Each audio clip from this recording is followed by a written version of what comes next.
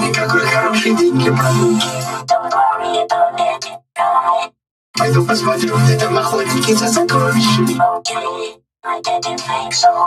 Хорошее приключение пойдет им на пользу. Не будет время обо всем подумать. Хоть отдохну немного. О, есть одна отличная идея, что если отправить этих мышат куда-нибудь подальше. Ребята, давайте жить дружно.